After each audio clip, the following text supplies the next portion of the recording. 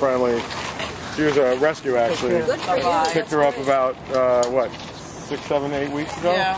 Bye bye. Eight weeks ago, yeah. Really, that soon? Yeah. Yeah, She's she's very two. well behaved. Thank Yeah, you. Yeah, well, I had a previous shepherd, so I. Oh, so you know. I yeah. Yeah, it's shepherds- very easy to train. They're very smart. Yeah, they're great dogs. Definitely family dogs. They're protective of Oh, their yeah. family.